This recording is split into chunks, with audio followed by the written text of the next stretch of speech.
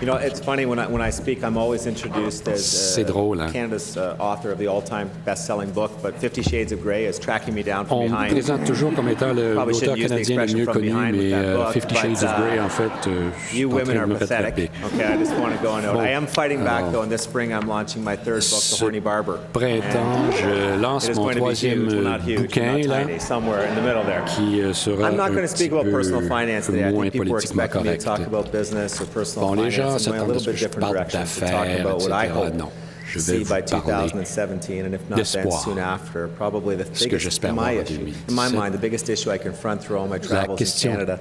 I'd like to see our national pastime change. que- And a lot of people vois, are going to think, why? les gens why se would you want hockey not to be our national Pourquoi vous ne pastime? Well, voulez hockey pas que le our hockey national soit notre pastime. Passe-temps national? who travels sometimes Écoutez, upwards c'est of pas 200 days a notre year. passe-temps national national. pastime in Canada Le is passe-temps national au. Canada, It's what we do most and it's what we do best.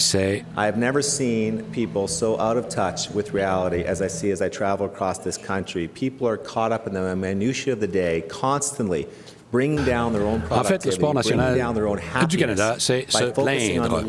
Voilà. of things. What we have lost in this country, in my mind, Alors, écoutez, is à the mon ability avis, to distinguish between a il minor faut faire la différence and a entre un- une problémette et un véritable problème. Vous savez, attendre son café chez Van Hout, c'est pas un gros problème. Mais je suis allé chez Van Hout ce matin, là, il est 11 heures, j'ai pas eu mon café encore, parle-moi pas. Écoute, c'est pas un gros problème, ça. Ce qui manque au pays ici, c'est la perspective. Regardez partout au monde. Est-ce qu'on peut améliorer notre pays? Ben oui, évidemment. Il y a des pauvres, il y a des riches, etc. On peut améliorer les choses. Mais y a-t-il un autre pays où vous préféreriez être? Hein? Regardez ce qui passe là en Afrique, en Afrique du Nord, du Sud, le Moyen-Orient, la Syrie, la Syrie, un, pays très moderne qui s'est désintégré sous nos yeux. Des milliers de gens qui sont tués dans la rue par leur propre gouvernement. Hein? Pensez à Haïti. Haïti, où les enfants mangent de la poussière tous les jours afin de survivre. Nos chiens nos chats vivent mieux que ces gens-là.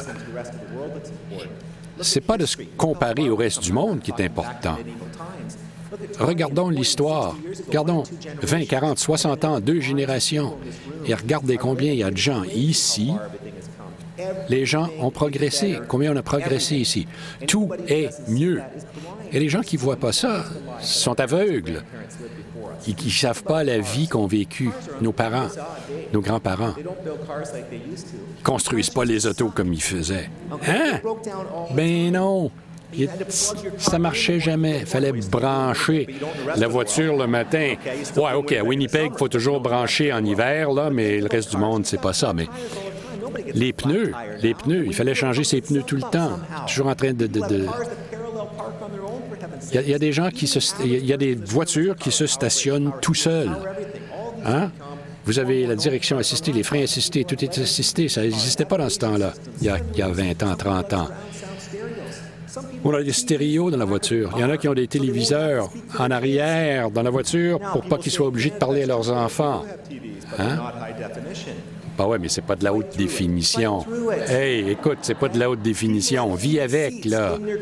Hein? Les sièges chauffants dans les autos. Hein? Ceux qui, dans la salle qui, ont, qui ont des volants chauffants. Seulement vous devriez avoir honte. Bon, enfin. J'ai pas de volant chauffant, mes mains gèlent. La ferme, c'est pas important, mais les gens se plaignent toujours de ce genre de choses. faut avoir de la perspective. On a quand même de la chance. Hein? Il faut essayer d'améliorer les choses. Mais on dit toujours, ah, l'autre gars, il y en a un petit peu plus que moi. Hein? Non. Oublions ce genre de plainte. On est tellement chanceux. On a toutes sortes de choses. Pas seulement les automobiles, les téléphones. Rappelez les téléphones? J'ai 51. 51. Vous vous rappelez le téléphone en 51? Voilà, hein? Ça prenait six minutes pour loger un appel. Et tous ceux qui appelaient, le dernier chiffre, c'était un zéro. Il fallait aller tout le tour. Et si tu manquais ton coup, il fallait tout recommencer, tous les chiffres. J'avais un chum qui avait trois zéros dans son, dans, dans son numéro de téléphone et je me disais non, non. Et aujourd'hui, les téléphones mobiles, les cellulaires, pensez-y. Votre smartphone a plus de potentiel au niveau de l'ordinateur que ne l'avait l'entière mission d'Apollon ou d'Apollo. Hein? Téléphoner euh, un interurbain, c'était une grosse affaire dans le temps. Hein? On était, on était à Kitchener, on recevait un interurbain de la grand-mère. Le, père te faisait venir au téléphone, dis-lui bonjour. OK, c'est assez long, ça va coûter trop cher.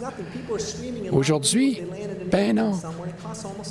Les gens se plaignent parce qu'ils ne peuvent pas se servir du cellulaire dans l'avion. Voyons donc. Les, les Antilles, qu'est-ce qui va aux Antilles? Ils, allaient quoi dans le nord du Manitoba faire du camping? Ils n'allaient pas aux Antilles. Ils n'allaient pas en Europe. Hein? Rappelez-vous ce que les gens devaient faire? Les gens, en fait, s'en allaient en Europe, rappelaient, laissaient le téléphone sonner trois fois, c'était le signal, un code, que tout allait mieux. Et aujourd'hui, ben non. Ben non. Aujourd'hui, en fait, il n'y a plus besoin de code comme celui-là, les gens. Hein? Un téléphone de, Gertrude, on ne connaît pas de Gertrude, ça c'est le code maintenant. Enfin bref, pensez à la télévision. Vous rappelez la télévision quand vous étiez petit? Hein? On avait une télévision. Si on avait une télévision, c'était en noir et blanc. Aujourd'hui, tu as 7 ans, 8 ans, tu as une télé dans ta chambre, ta sœur en a une dans sa chambre à elle.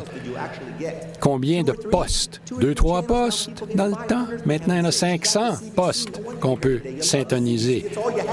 Hein? Dans le temps, Radio-Canada, c'était le seul poste que vous pouviez syntoniser. Aujourd'hui, non, c'est différent. Et vous vous rappelez la réception? La réception? On écoute la partie de hockey tout d'un coup en plein milieu de la neige sur l'écran. Hein? Ma, mère, ma mère était obligée de, zigonner avec les oreilles de lapin, là.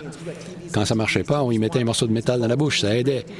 Bon, aujourd'hui, on a de la télé partout, dans l'auto, en avion, euh, que sais-je. Et en fait, plus ça va, je vais dans les écoles secondaires. Je leur parle de téléphone. Je leur parle de téléphone à ligne partagée.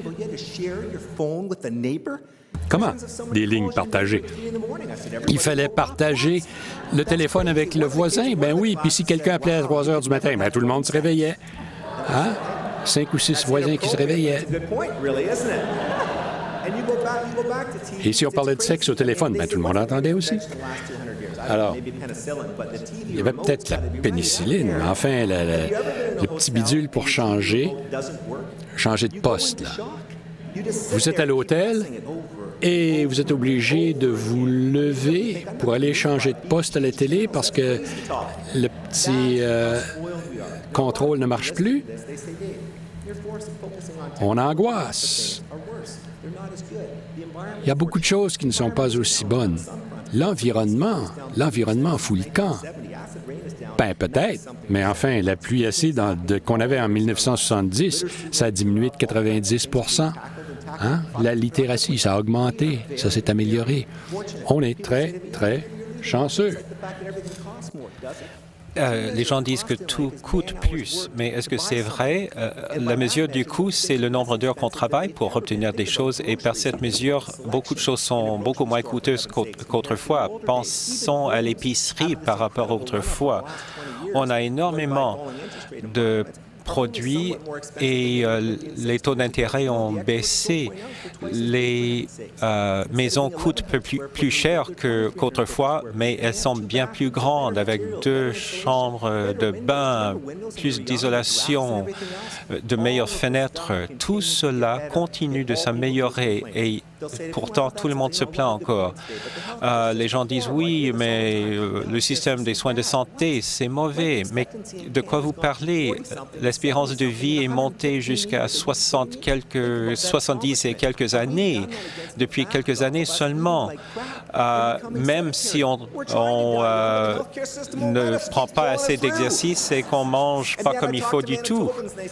Lorsque vous parlez au Manitoba, ils disent oui, mais il faut attendre trois mois pour une tomographie. Mais euh, il y a 30 ans, il fallait attendre 30 ans pour euh, une tomographie. On n'avait pas ces avances technologiques qui rendent notre vie bien meilleure. Mon père, par exemple, qui a 80 ans, il joue au tennis, il a deux hanches artificielles, deux épaules artificielles. Autrefois, il aurait été euh, invalide.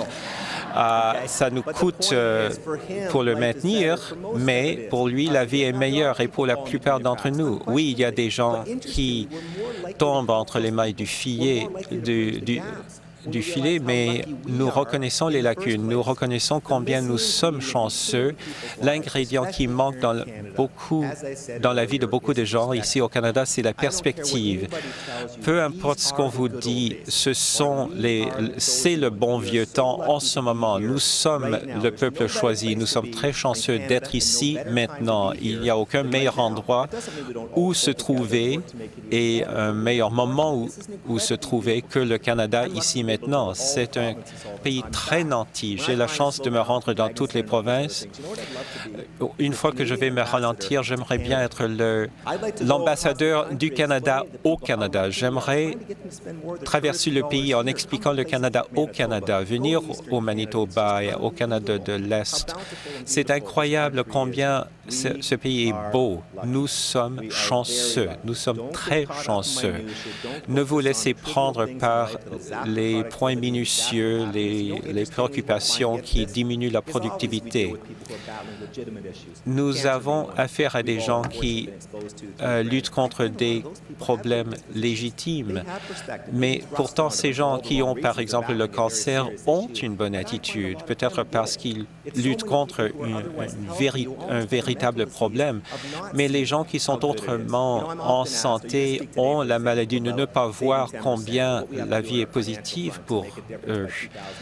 Euh, comment faire la différence financière? Ou est-ce qu'il faut se payer d'abord? Euh, si j'avais une chose à enseigner aux, aux Canadiens, je dirais remettez-vous, soyez plus positifs, tout simplement. Merci.